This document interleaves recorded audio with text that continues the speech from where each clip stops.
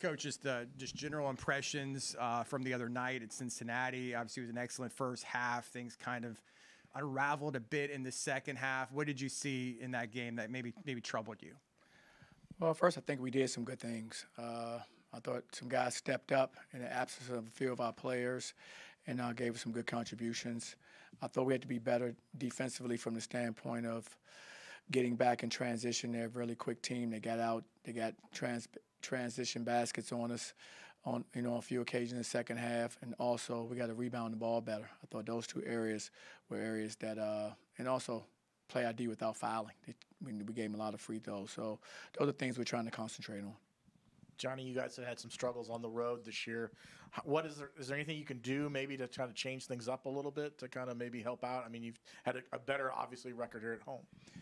Well, absolutely. We had to keep getting better. Uh, we have to play with a little more composure on the road. We were up, you know, in the first half, and uh, of course they're going to make a run. They're a very good team, really good program, and uh, they were able to turn it up some more. And uh, we have to be able to meet that challenge. I thought, you know, when they when they turned it up in the second half, you know, we didn't respond to the level that we needed to, and uh, that that gave them a lot of momentum. Uh, Cincinnati comes here next month. How do you approach that game, game differently? Uh, we have to continue to grow and get better. You know, we still have several weeks. I'm not sure the exact date. I'm only a one game at a time person, but I'm sure it's down the road somewhere. And for us, we need to make sure that we're getting better so that the next time we play, we're a more improved team. Uh, that's the whole thing in this race that we're in. You have to keep getting better, you know, because, you know, through this process, you're either getting better or you're getting worse. So we want to continue to try to improve as we move forward. You mentioned it a little earlier. You were down two starters. How are Shemarri and CJ doing? Uh, both are getting better. Uh, both are still, you know, recovering, but uh, they're improving. Um, okay. What's the motivation of their team for the upcoming game? Uh, well, for us, you know, we're excited to, to be able to continue to play and get right back after it. Uh, you know, tough weekend, tough loss, but you know we have to, you know, we have to regroup, and like I've said all season long, we have to respond. And so that's kind of been you know, our mantra as we've gone through this this conference play. And uh, every game is so good. Every team is really well coached and, and talented. And so you have to regroup and respond when you have setbacks, and that's how you grow. You spoke about it briefly. Ibrahim Diallo had five fouls in five minutes. How are you coaching him in that moment? What's going on, and what, what happened? Just your thoughts. Uh, he picked up some tough fouls. Uh, you know, he fouled out really quick. And he's one of the players that's fouled out the fastest I've ever coached. Five minutes, five fouls. Uh, but you know, you grow from those things. This is what I mean about improvement. You have to look at those situations. What what could I have done better? How I put myself at risk for that? And then you make the improvements. And so in his case, uh, he's a mature player. He understands, you know, what he needs to do to to not put himself in that position, and to understand his value of for our team. You know, we can't have him over there sitting next to us. We don't need any more coaches. You know, we need guys out there play, competing and playing. And so uh, I think it was a, a, big lesson for him and our team because uh, we, you know, we missed him out there on the floor. Darius Johnson's kind of had some up and down games. What did you see about his performance in that game, and where does he where does he need to improve to be more consistent? Well, he just needs to continue to assert himself. Uh, you know, he's gone through some things with you know in the family with the death of his grandfather, and I think that that was kind of tough as he's bouncing back from that uh, emotionally and uh, everybody grieves differently. And so as he's going through this, I think it's just you know coming coming out of that is a big part of it, and also just understanding as other guys are starting to emerge on our team. You know, you have to still maintain who you were. You know, he's been one of our leading scorers uh, throughout the season. So as other guys start to emerge, whether it's you know Chi Chi, whether it's Antoine, as guys are getting more opportunity to play, and, and our rotations and the chemistry is starting to change, you know, you still do what you've always done because you're one of the keys that we play off of. And so you, you stay, you know, consistent with who you've been. Got a big game coming up against Baylor. Just what do you know about the uh, the Bears? You know, really well coached basketball team, uh, talented, talented players. You know, on that roster as well. And, uh, you know, it'll be a challenge for us, as, as they all have been in this conference. You know, we have to prepare, understanding that, you know, we have to, you know, play a 40-minute game to have any kind of success. Jaylin Sellers got off to a really, really hot, hot start. And during the second half, it seemed that he left the game with some back issues. Is there any update on him and what's going on with his back?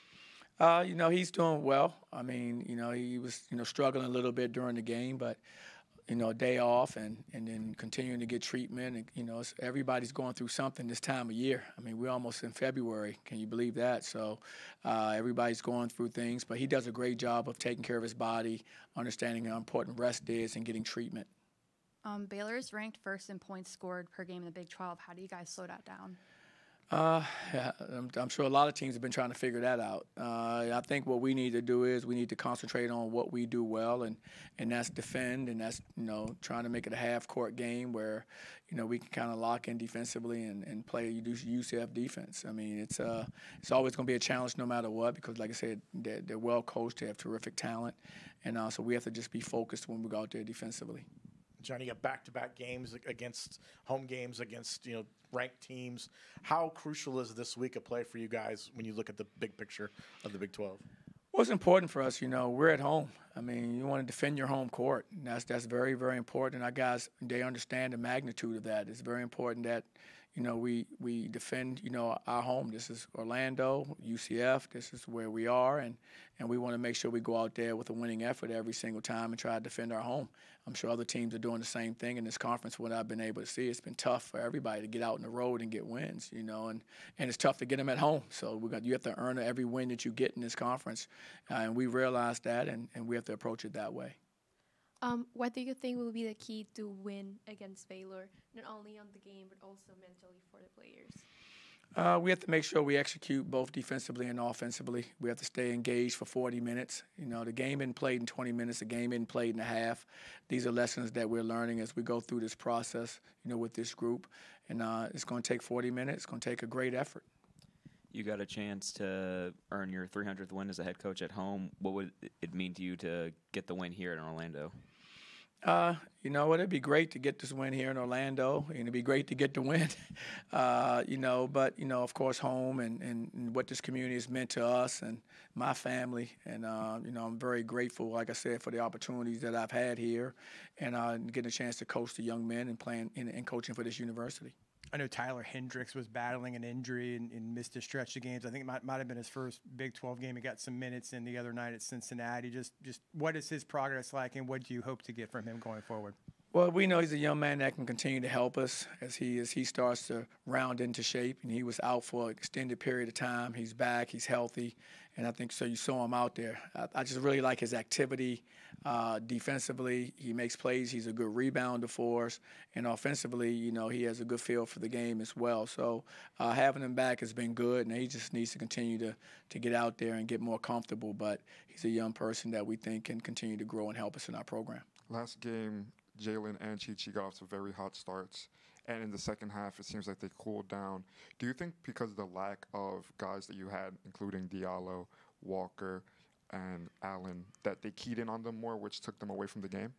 Well, you know, you know me. I'm not an excuse maker, and we're not an excuse making program. Uh, you still have to find ways to be successful and uh, and I think we were trying to do that. Uh, of course, you know, missing a few guys out on the floor never helps you when they're your starters. But you know, we still could have done a better job of executing. You know, I think we could have done a better job of of finding those guys in better situations to be to help our team to be successful offensively, and that's where we have to grow at. And so, yeah, absolutely, we'd love to have those guys, you know, in our rotation and, and our starters, but you know, you still got to find a way to win. Like I said, I think every team is going through something, whether it's player issues from the standpoint of injuries or things going on there, or just you know rotational issues that you're going through. When players, you know, some weeks they're up, some weeks they're down. They're human beings, and so uh, you know we have to make sure that our guys understand how we have to play to be successful.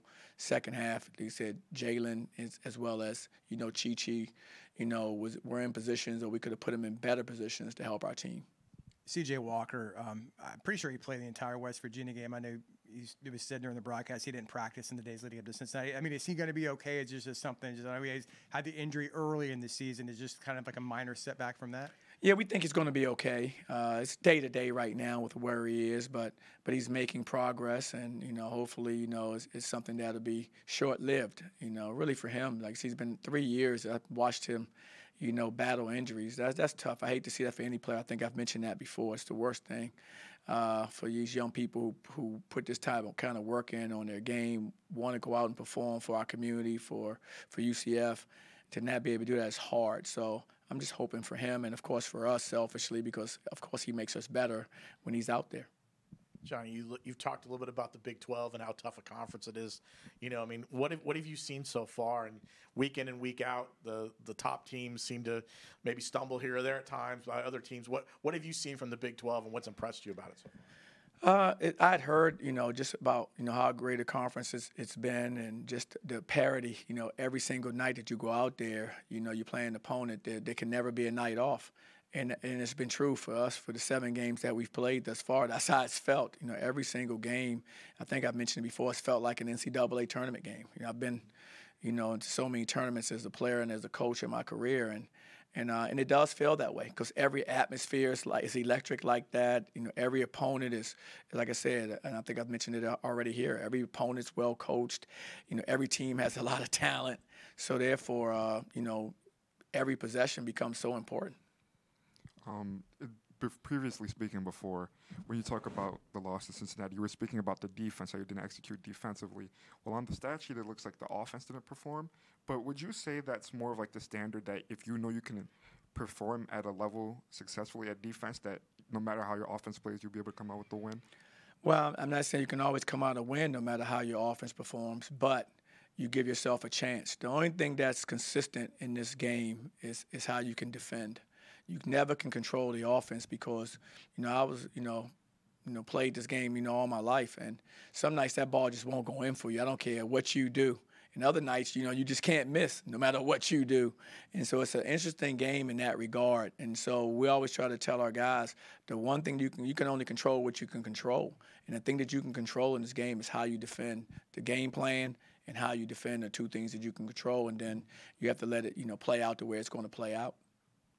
You've gotten out to slow starts most of the season. Uh, the last two games, you both got out to hot starts. What changed this uh, past week in terms of offense? Well, I think our guys are, are recognizing what we have to do, you know, to get off to better starts. And uh, part of that is just making sure we come down and just really execute whatever we're doing, you know, whether it's something offensive we were running or whether we're out in transition, understanding the importance of getting what we want and not just settling. And uh, I think our guys are doing a better job of understanding. Let's search out, let's search out a great opportunity, a great look before we settle, and then not having our, you know, our offense hurt our defense from the standpoint of turning the ball over and giving teams momentum, getting out and getting early, easy baskets is something that we're trying to uh, prevent. All right, guys. We're good. All right, guys. I gotta take care.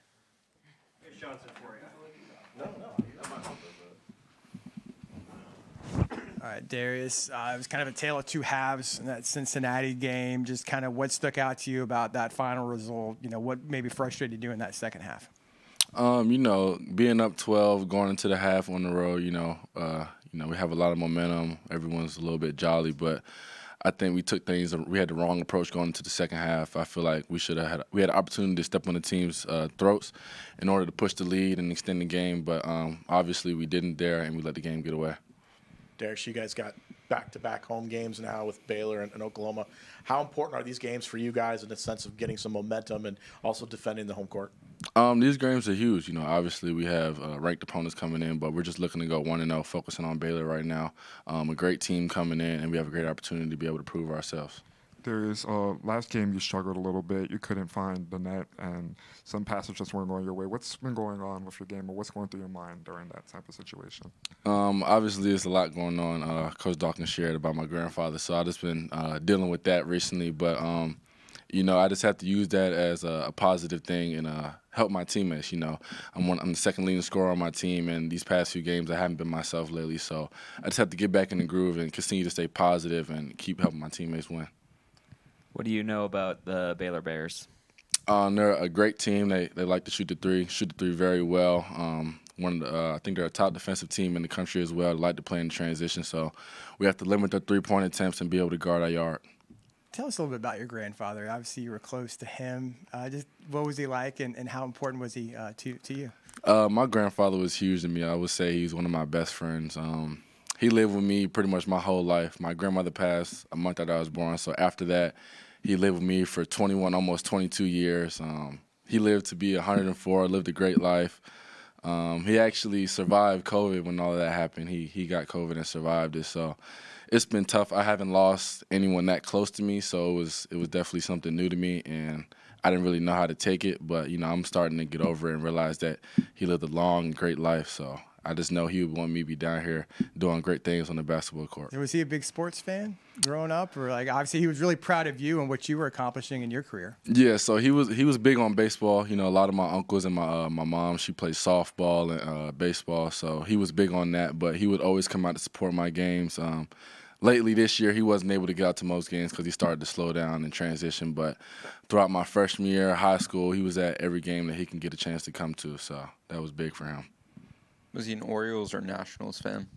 Um, I would say he was a little bit of both. Uh, mainly, he he loved baseball, all, all the baseball games really. But um, his biggest team was probably the Redskins when they were the Redskins. And um, obviously, you guys have another Wednesday game coming up against a ranked team. You guys are undefeated on weekday games. Uh, if you didn't know, what makes this team good on weekdays? Like, is school just going so good? Uh, I would just say the environment. You know, the the environment, the fans, the atmosphere is just is super great. You know, the way our fans come out and contribute is is super great. You know, we don't want to let them down because you know they do our, they do a great job cheering us on and and heckling the other team. So you know, it's it's about the, the team and the school really. Kind of going off on that, um, previous years students may not have like shown up as much, but this year they've been showing up a lot. What does that mean to you as a player? Uh, it means a lot. You know, we don't want to disappoint them. We don't want to disappoint our coaches and our fans. So going into the game, knowing that they're cheering for us and rooting for us, we don't want to let them down. When you when you look at this performance, uh, you know, uh, coming off the, the loss to Cincinnati, what is it something you guys need to do on the road? You, you guys have struggled a little bit on the road. Is it is it the new venues? Is it the the, the difficult, the uh, better league? What what's kind of maybe stood out to you? Why you guys have maybe some struggles on the road? Um, I don't really think that's a factor. I think um, going into the road, we always preach it's just us. Um, it's always just about the team and the guy next to you. Um, so it's some things that we have to work on offensively, um, work on our spacing and stuff like that that we're lacking right now. But our defensive always is great. We rely on our defense. That's something that can always travel. But offensively, you can't control whether the ball's going to go in the hoop every night. So we just have to focus on defense. Control what you can control. Um, what's your motivation for the upcoming game? Um, we want to get back in the win column. Um, you know, preaching to the team that we can't keep going one win, one loss. We want to start stacking days and stacking wins to be able to succeed and be able to get to the top of the conference and be able to have a postseason. I mean, late in the game, you guys struggled to score mightily. Um, not, no field goals were going in. How much of a loss was it to not have Shemarri Allen, a guy who energizes the team late in the half and makes big time plays? Uh, it was definitely a huge loss, but um, you know, next man up. Shemarri is a great aspect for our team, a great defender, and someone who's great getting downhill and finishing at the rim and, and be able to draw fouls. Um, so it was definitely a missing piece there. Um, Shemarri also helps me out being off the ball a little bit more, so that was definitely something that we lacked. But I feel like we had multiple opportunities and chances to still win the game. It's a big homestand coming up. Obviously, Baylor on Wednesday, Oklahoma on Saturday, both nationally ranked teams guess for you guys to kind of get back on track and maybe start to you know, get into that Big 12 contingent, how important is it to, to post wins this week, especially since they're home games? Uh, these wins are, are greatly important. Um, you know, after the we have to go on the road, but you know we're trying to stay focused on going one and zero, taking one step at a time, one game at a time. Um, I feel like we have a great opportunity here on Wednesday, and then once we do what we're supposed to do, we have a great opportunity on Saturday. Um, what's your favorite play Oh, sorry. What's your favorite thing about playing at home? Uh, definitely the atmosphere. Um, get a chance for any family, friends to be able to come out and watch you play and compete at one of the highest levels, with the highest level in college basketball, really. Um, you know, the fan the fan base is great. You know, get to see your students sometimes walking to class, get to congratulate you, good game, yeah, yeah, yeah. So that's my biggest thing. From a standpoint of the season right now, what do you feel like has been the team's biggest strength and biggest weakness? Uh, I feel like our biggest strength has been our defense. Um, considering the fact that we're top ten uh, defensively, and I feel like we we can be number one. Uh, we just have to really lock in and focus on the little details. But uh, really offensively, you know, we have a bunch of new guys, new guys coming into new roles, playing more minutes. So we're just trying to get our chemistry and continuity together. And speaking on defense, that's obviously the team's identity. Coach preaches that every press conference. Do you guys have like a sort of mindset that if you can hold a team down to under a certain amount, that you will get the win even if you struggle offensively? Uh, yeah, uh, definitely that. Um, if we hold a team under 50, it's, we call it a defensive masterpiece, um, and we try to limit ourselves to having uh, more than 10 turnovers. Our coach always tells us if you have 10 turnovers or less, you'll be in any basketball game. Devon, what's your, your grandfather's name? Uh, Henry. Thank you. You're welcome. Nah, Cheney. Henry Cheney, yeah. Did he go to the Florida game last year? Yeah, he was at the Florida game last year. He came. He came to one game this year. I can't remember exactly which game it was, but he came to one game this year. Okay. Yeah. I think I remember seeing him like at that. Yeah, he was. He was. He was at the game. Yep.